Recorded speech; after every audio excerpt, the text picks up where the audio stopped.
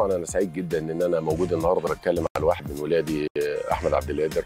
وإن شاء الله دايما بإذن الله نتكلم على أولادنا بشكل كويس. أنا بشكر قناة النادي الأهلي وبشكر المسؤولين في, في النادي الأهلي إن هم دايما عينيهم على أولادهم ودايما متابعين اللعيبة بتاعتهم والمدربين بتوعهم.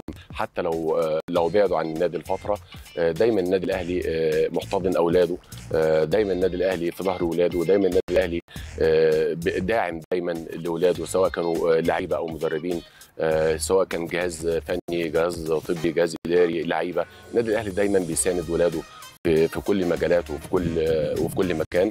أحمد أنا معايا من من أيام ما كان في الأكاديمية النادي الأهلي.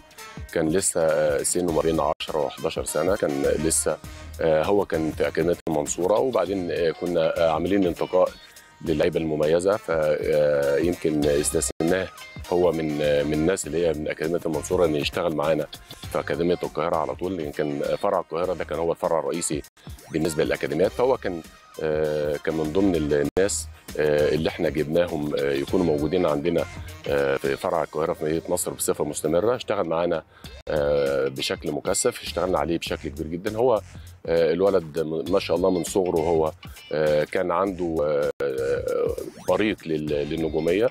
كلنا كنا مستبشرين في خير ان إن شاء الله هيكون في يوم من الأيام لعيب مميز ويضيف للنادي الأهلي. وده فعلا مع الوقت يعني أثبت بشغله واجتهاده.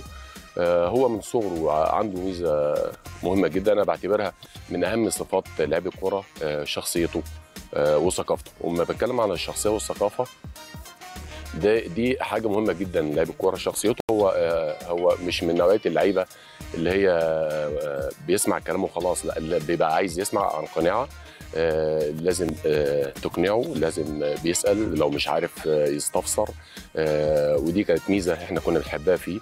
مش مجرد ان انت بتقول له اعمل كذا بيجي عامل وخلاص لا.